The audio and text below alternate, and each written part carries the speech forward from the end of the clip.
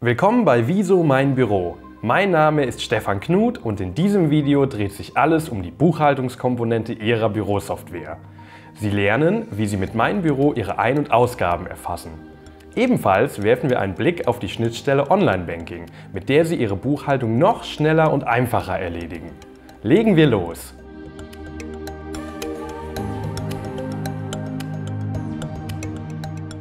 Mit Mein Büro haben Sie all Ihre Ein- und Ausgaben im Blick. Hierzu wechseln Sie in den Programmbereich Finanzen, Zahlungen, Bank, Kasse. Hier finden Sie all Ihre Buchungen an einer zentralen Stelle. Egal, ob es sich um Zahlungen handelt, die in Bar oder über Ihr Konto getätigt wurden. Natürlich können Sie mit Mein Büro auch Ihre Kreditkarten oder PayPal-Konten verwalten. In diesem Video konzentrieren wir uns aber auf ein klassisches Girokonto. Für alle Bargeschäfte, die nicht das Konto betreffen, empfehle ich Ihnen, das Verrechnungskonto zu nutzen. Wenn Sie verpflichtet sind, ein Kassenbuch zu führen, erfassen Sie die Bargeschäfte unter der Rubrik Kassenbuch.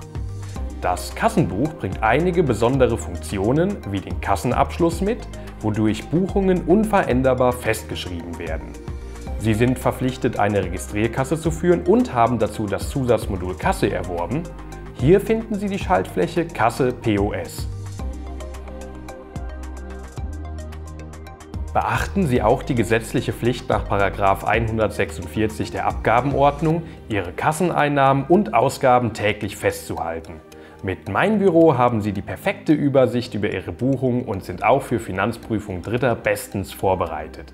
Wenn Sie Ihr Mein Büro mit dem Online-Banking-Zugang Ihrer Bank verbinden, können Sie viel Zeit sparen und sich die Arbeit leichter machen. Um ein Online-Konto einzurichten, klicken Sie auf Weitere Funktionen, Einstellungen, Bankverbindung. Für dieses Beispiel gehen wir davon aus, dass Sie ein neues Online-Banking-fähiges Konto anlegen möchten.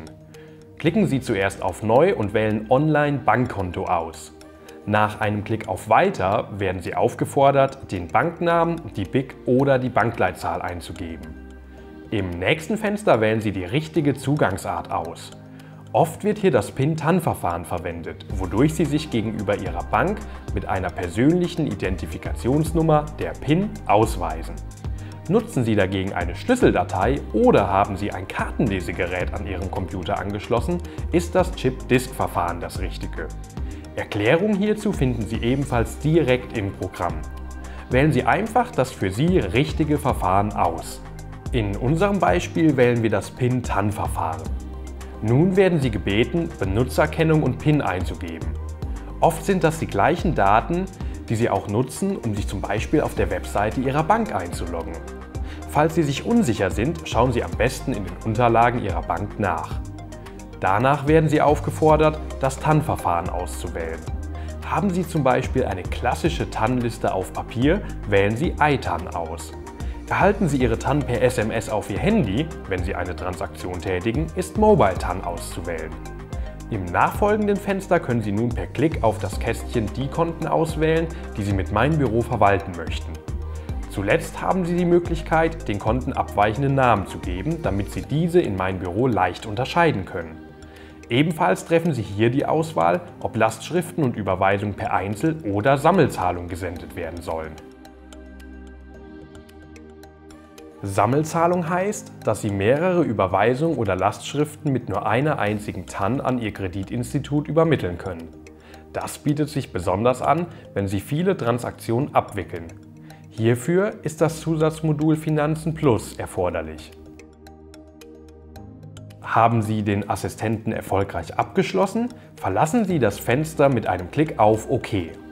Anschließend sehen Sie Ihr neu eingerichtetes Konto unter Finanzen, Zahlungen, Bank, Kasse. Übrigens, möchten Sie ein bestehendes Bankkonto, welches Sie mit Mein Büro bisher nur offline verwaltet haben, für das Online-Banking aktivieren, müssen Sie das Konto über Bearbeiten öffnen und das Häkchen bei Online setzen. Die übrigen Schritte sind nach einem Klick auf Weiter identisch mit dem zuvor erklärten Vorgehen. Sie haben bereits ein Online-Konto verknüpft? Dann sind Sie nun bereit, Ihre Online-Banking-Umsätze abzurufen. Wählen Sie hierzu das verknüpfte Konto aus und klicken Sie auf Umsätze abrufen. Nach Eingabe Ihrer PIN, ganz einfach über die Tastatur, werden die Umsätze in Mein Büro importiert. Rufen Sie das erste Mal Ihre Umsätze ab, kann der Abruf unter Umständen einen Moment dauern. Ihre Bank legt fest, welcher Zeitraum importiert wird. Oft sind das die letzten drei Monate. Einige Banken stellen Ihnen aber auch Umsatzdaten des gesamten letzten Jahres zur Verfügung. Nach jedem erfolgreichen Umsatzabruf in dem neue Kontobewegungen abgeholt wurden, öffnet sich der Zuordnungsassistent. So können Sie direkt beginnen, alle bisher nicht erfassten Kontobewegungen zu verbuchen. Da Sie den Zuordnungsassistenten jederzeit über weitere Funktionen öffnen können, schließen wir diesen für den Moment und werfen einen Blick auf alle abgeholten Kontobewegungen. Sie finden Ihre Umsätze in Form eines elektronischen Kontoauszuges in Mein Büro wieder. Durch die Filterleiste können Sie sich zum Beispiel Daten eines bestimmten Zeitraums, Empfängers oder anderer Kriterien anzeigen lassen. Sie können nun entweder eine einzelne Buchung über einen Doppelklick auf den entsprechenden Eintrag öffnen oder den Zuordnungsassistenten, wie eben erwähnt, über weitere Funktionen starten. Sie erhalten eine Zahlung Ihres Kunden und möchten diese mit Mein Büro einer offenen Rechnung zuordnen? Kein Problem dank des intelligenten Zuordnungsassistenten. Zuerst öffnen Sie die entsprechende Einnahme per Doppelklick. In unserem Beispiel hat mein Büro erkannt, dass die Zahlung über 1200 Euro zu einer offenen Ausgangsrechnung mit dem gleichen Betrag passt. Über die Schaltfläche Seitenvorschau können Sie sich die entsprechende Rechnung nochmals anschauen. Ist dieser Vorschlag korrekt, können Sie die Buchung einfach mit einem Klick auf OK bestätigen. Die Einnahme wird mit einem grünen Punkt als erledigt gekennzeichnet. Wechseln Sie in die Übersichtsliste Ihrer Rechnung, sehen Sie, dass die entsprechende Rechnung automatisch von meinem Büro auf bezahlt gesetzt wurde. Sind Sie mit dem Vorschlag des Zuordnungsassistenten nicht zufrieden, können Sie diesen mit einem Klick auf Vorschlag verwerfen ignorieren und die passende Ausgangsrechnung händisch auswählen.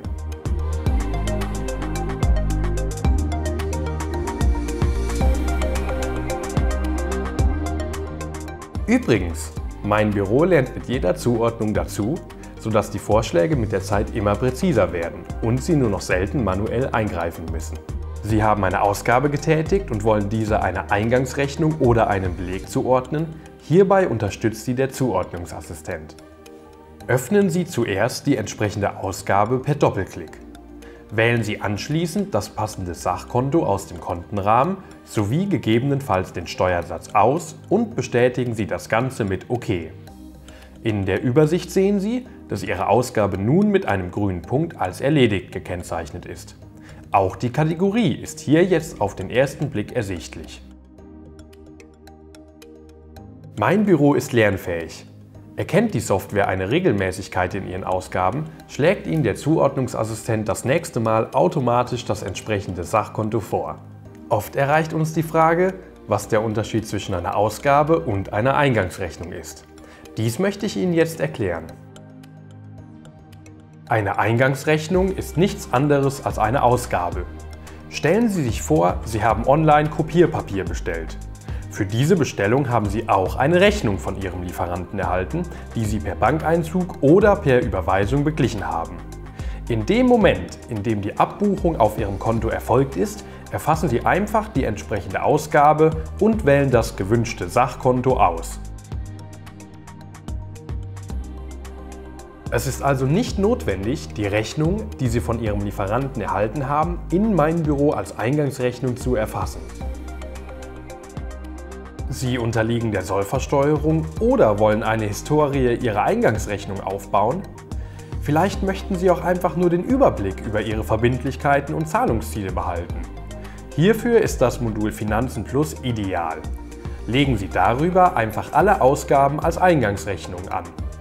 Haben Sie das Zusatzmodul Finanzen Plus erworben, können Sie unter Finanzen Eingangsrechnung Ihre Eingangsrechnung erfassen. Bereits beim Anlegen der Eingangsrechnung wählen Sie das später zu bebuchende Sachkonto aus.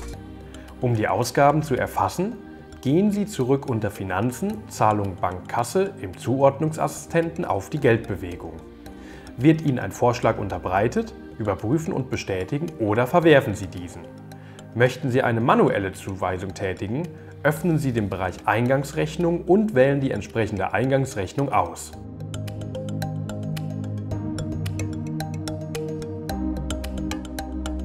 Das Modul Finanzen Plus wird also nicht zwingend benötigt, um Ausgaben zu erfassen.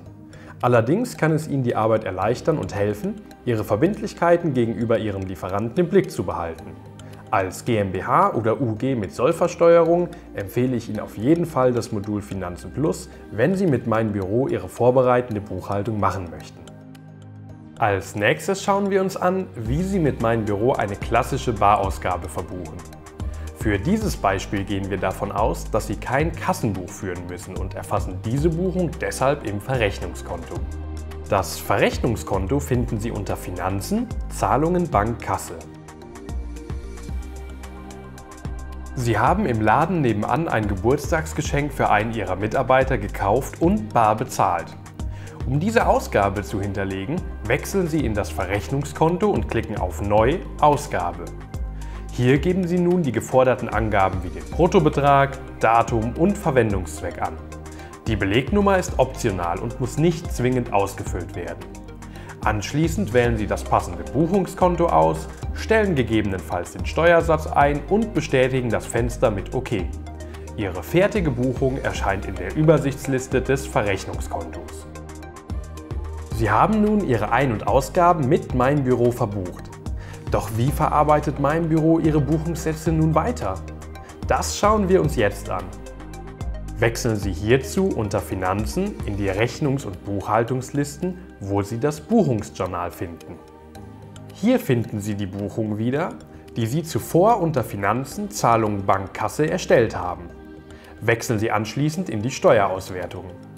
Testweise erstellen wir nun eine neue Umsatzsteuervoranmeldung für den aktuellen Monat und möchten, dass mein Büro dafür unsere zuvor erstellten Buchungen heranzieht. Im Formular sind nun automatisch die entsprechenden Werte eingetragen. Mit einem Klick darauf können Sie sich anzeigen lassen, wie mein Büro diesen Wert berechnet. Hier sehen wir zum Beispiel direkt die Vorsteuer von unserem Mitarbeitergeschenk. Sie sehen also, mit meinem Büro ist es nicht mehr notwendig, Elster-Formulare manuell auszufüllen. Sie erfassen einfach Ihre Ein- und Ausgaben und mein Büro trägt die entsprechenden Werte automatisch in Ihren Formularen ein.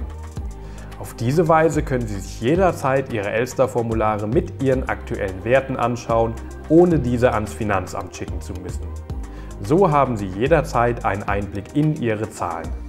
Mein Büro unterstützt Sie dabei, eine GOBD-konforme Buchhaltung zu führen.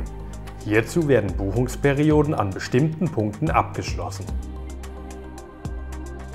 Dies geschieht durch das Versenden von Steuerformularen per Elster an das Finanzamt, den DATEV bzw. FIBO-Export sowie das Versenden des elektronischen Pendelordners. Anschließend sollten Sie keine manuellen Änderungen mehr in Ihrer Buchhaltung vornehmen, die in diesen Zeitraum fallen. Müssen Sie aus steuerrechtlichen Gründen doch eine Änderung durchführen, erscheint ein entsprechendes Hinweisfenster. Alle Änderungen an bereits abgeschlossenen Buchungsperioden werden protokolliert, sodass sie weiterhin für einen Prüfer nachvollziehbar sind. Zusätzlich haben Sie über den Menüpunkt Finanzen Buchungsperiode abschließen die Möglichkeit, einen manuellen Abschluss zu einem Stichtag durchzuführen, sollten Sie keine der eben erklärten Varianten nutzen. Hier erinnert Sie das Programm an Vorgänge wie nicht zugeordnete Buchungen, die Sie vor dem Abschluss noch erledigen sollten. Der Abschluss betrifft alle Buchungen, die Sie unter Finanzen, Zahlung, Bankkasse eingegeben haben. Ebenfalls gehören Ihre Ein- sowie Ausgangsrechnung und die Anlagegüter dazu. Ihren Kassenabschluss führen Sie weiterhin regelmäßig und taggenau durch. Zum Abschluss noch einige generelle Anmerkungen. In Konten, die mit Ihrem Online-Banking-Zugang der Bank verbunden sind, sind keine manuellen Buchungen über die Buttons Neue Einnahme oder Neue Ausgabe möglich. Hier verbuchen Sie immer die von der Bank überlieferten Umsätze. Manuelle Buchungen sind im Kassenbuch und im Verrechnungskonto möglich, sowie in Offline-Konten, also Bankkonten, die keine Verbindung zur Bank haben. Im Kassenbuch und im Offline-Konto können Sie Kontobewegung auch anhand einer zum Beispiel Excel- oder CSV-Datei importieren. Dies kann sinnvoll sein, um Zahlungen zu importieren, die nicht von der Bank überliefert werden und weiter in der Vergangenheit liegen. In der Videobeschreibung finden Sie eine Anleitung hierzu. Umbuchungen sind mit Mein Büro ebenfalls möglich. Hierfür nutzen Sie den Button Umbuchung bei Steuerkategorie. Dies bietet sich an, wenn Sie zum Beispiel Geld zwischen zwei Bankkonten transferieren.